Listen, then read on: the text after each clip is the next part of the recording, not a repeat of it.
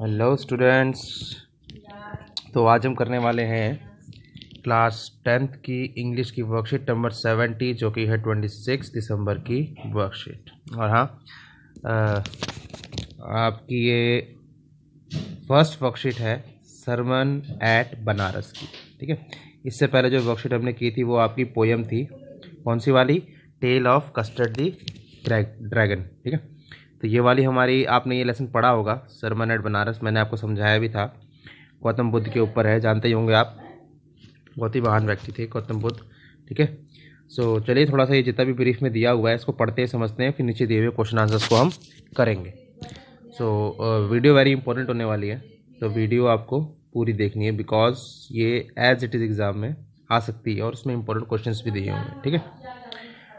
Gautam Buddha five six three B C four eighty three B C ये इनका समय लिखा हुआ है, जिस जिस समय ये थे, ठीक है? बी सी मतलब होता है before Christ begins life as prince named Siddhartha Gautama in North India अब देखो, इनने अपनी जीवन कैसे स्टार्ट किया था as a prince Gautam Buddha क्या थे? एक प्रिंस थे, इनका पूरा नाम था सिद्धार्थ गौतमा और नॉर्दर्न इंडिया में थे ये.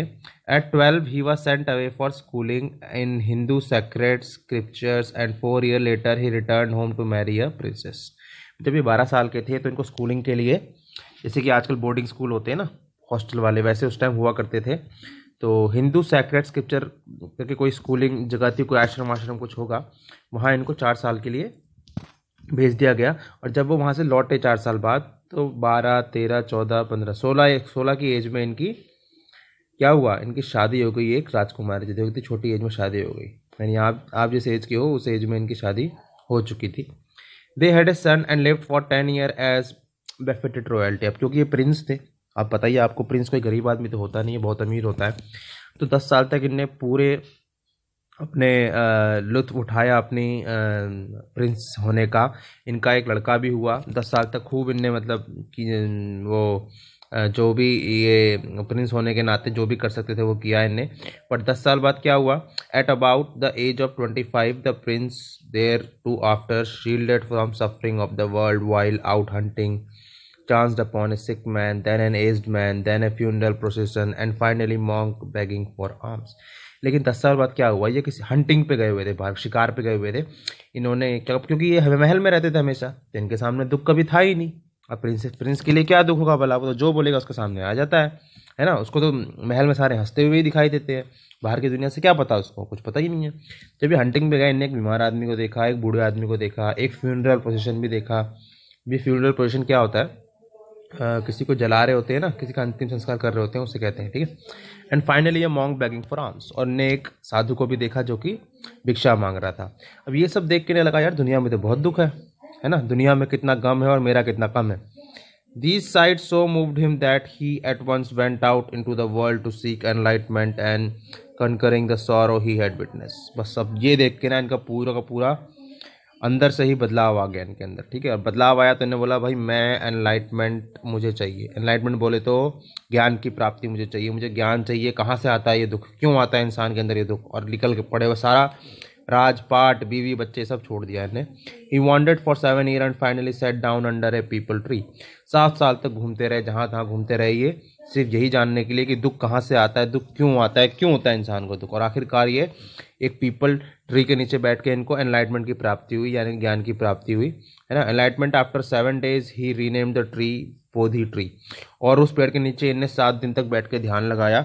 सेवन डेज़ आप एक घंटा नहीं लगा पाते हो, इनने सेवन डेज़ तक लगाया था। और वहाँ पे इनको ज्ञान की प्राप्ति हुई और उस पेड़ का नाम रख दिया गया ट्री ऑफ़ विजडम ये बात ध्यान रखना, पीपल का पेड़ था वो, ठीक है? पीपल का पेड़ था, उसका नाम रख दिया गया tree of wisdom and began to teach and to share his new understanding और फिर ने क्या किया ना, जब ज्ञान की प्राप्ति हो गई तो इन्होंने उस ज्ञान को बांटना स्टार्ट किया। देखो, ज्ञान आपको पता चल गया, आपको कुछ समझ में आ गया। अगर आप किसी और को समझाओगे ना तो वो चीज़ और अच्छी हो जाती है। ज्ञान एक ऐसा धन है जो बांटने से बढ़ता है। आप, या इन्हें अपने तक सीमित नहीं रखा है ज्ञान इन्हें बांटना स्टार्ट किया। At that point he become known as the Buddha और जब इन्हें ये सब स्टार्ट किया तो लोग उनको बुद्धा के नाम से जानने लगे। और बुद्धा का मतलब होता है द अवेकेंड और द एनलाइटेंड अब बुद्धा का मतलब होता है जिसको ज्ञान की प्राप्ति हो चुकी हो। ठीक है? The Buddha preached his first sermon at the city of Banaras और इनने जो अपनी लाइफ के पहले सरमन यानी पहले उपदेश जो दिए थे, वो बनारस सिटी में होली गंगा रिवर के बगल में बैठ के दिए थे, ठीक है? That sermon has been preserve and is giving here ठीक है? और वही सरमन जो है, उसको प्रिजर्व करके रखा हुआ है और वही आपके लेसन में दिए हुए हैं, इस चैप्टर में दिया हुआ है। It reflect the Buddha wisdom about one inscrutable kind of suffering और ये सारे सरमन जो शुरुआती सरमन है, किसके ऊपर है? ये इंसान की सफरिंग के ऊपर है, ठीक है? सफरिंग बोले तो उसके दुख के ऊपर है, ठीक है? तो आइए चलिए, हम सीधा क्वेश्चन आंसर के ऊपर आते हैं। देखो, वीडियो अगर आपको अच्छी लग रही है, समझ में आ रहा है तो कमेंट शेयर लाइक सब्सक्राइब जो मर्ज़ी करना है कर दो, ठीक है?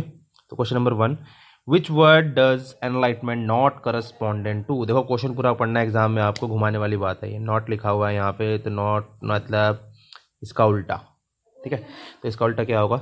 इग्नोरेंस ठीक है? अब आते हैं क्वेश्चन नंबर टू पे। Choose the option that list the set of statement that are not true ध्यान रखना, हमें नॉट ट्रू वाली ढूंढनी है। ट्रू स्टेटमेंट नहीं नॉट ट्रू ढूंढनी, यानी फॉल्स स्टेटमेंट हमें ढूंढनी है, ठीक है? तो he lived a life of royalty throughout वो हमेशा अपनी राजा की लाइफ ही जीते रहे। तो ये बात तो बिल्कुल फॉल्स है। उन्हें छोड़ दिया था राजपाट अपना। Is also known as Buddha the wakened उनको बुद्धा के नाम से जानते थे, ये ट्रू है। He preached this first sermon at Bengal उन्होंने अपने पहले उपदेश बंगाल में दिए थे, ये फॉल्स है। बनारस में दिए थे। He left his family all the world pleasure to search of enlightenment ये बिल्कुल ट्रू है। उन्होंने पूरा राजपाट, बीवी, बच्चे सब छोड़ दिया था। At the age of fifteen he was sent away for schooling पंद्रह साल की एज में उनको स्कूल में भेजा गया था। ये भी गलत है। बारह की एज में उनको भेज दिया गया था। सोलह की एज में तो उनकी शादी हो गई थी, पंद्रह सोलह की एज में। तो फॉल्स कौन से मिले हैं हमें? हमें फॉल्स मिला है ए एक, तीन और पाँच। तो हमारा कौन सा ऑप्शन है? ये वाला। ये वाला हमारा आंसर है। ठीक है? अब आते हैं। क्वेश्चन नंबर थ्री के ऊपर हम according to the extract Buddha choose Banaras city to preach his first sermon because Buddha ने बनारस सिटी को ही क्यों चुना अपने पहले सरमन के लिए? देखो, एक बात तो ये ज्ञान की प्राप्ति उनको वहीं हुई थी। एक बौद्धि ट्री था पीपल का ट्री था वहाँ पे।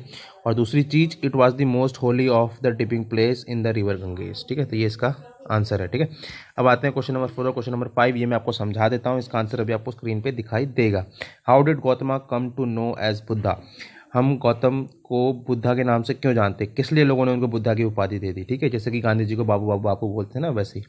What made Buddha move out in the world to seek enlightenment किस कारण से बुद्धा ने अपना सारा राजपाट, बीवी, बच्चे सब कुछ छोड़ के एनलाइटमेंट बोले तो ज्ञान की प्राप्ति के लिए निकल पड़े घूमने के लिए और सात साल तक घूमते ही रहे, ऐसा क्यों हुआ था? तो इसका आंसर अभी आपको स्क्रीन पे दिखाई देगा, आप सीधा स्क्रीन पे ही रहे अपने। ये रहा इसका आंसर ठीक है? ये रहा हमारा क्वेश्चन नंबर फोर और ये रहा हमारा क्वेश्चन नंबर फाइव तो यहाँ से आप आराम से क्वेश्चनों को नोट करिए आंसर को नोट करिए। समझाने की ज़रूरत मेरे को है नहीं बिकॉज़ सारा मैं अभी आपको समझा चुका हूँ। ठीक है? बुद्धा लोग इसलिए कहते थे उनको क्योंकि उनको ज्ञान की प्राप्ति हो गई थी और वो उस ज्ञान को बांट रहे थे लोगों में, यानी सर्म उपदेश दे रहे थे। तो लोगों ने उनको नाम ही रख दिया बुद्धा, क्योंकि उनको ज्ञान की प्राप्ति हो चुकी थी और वो ज्ञान बांट रहे थे और ऐसा ज्ञान किसी के पास नहीं था। ठीक है? और क्वेश्चन नंबर फाइव में ये पूछा गया है कि क्यों वो घर बार छोड़ के चले गए थे? तो वही बात है, एक दिन उनको एक बूढ़ा आदमी मिला, एक बीमार आदमी मिला, एक एक अंतिम संस्कार देख लिया उनने, एक साधु को उनने भिक्षा मांगते हुए देख लिया। तो उन्होंने देखा, भाई, दुनिया में कितना गम है, मेरा कितना कम है। चलो भाई, गम का कारण ढूँढने निकल पड़ते हैं, ठीक है? So that's all for today have a nice day